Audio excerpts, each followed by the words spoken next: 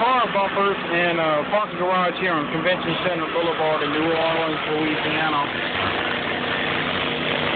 Such a beautiful night tonight here in middle of uh, November. Right now we're doing a little trimming on some rebar to drop in a hole.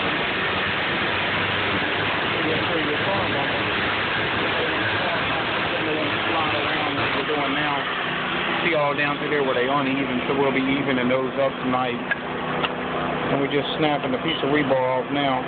Very hot because of the friction of the grinder on it for over a minute.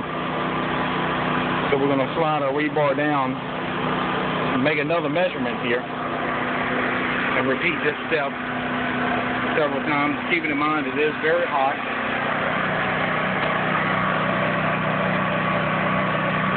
Mark it with a piece of tape.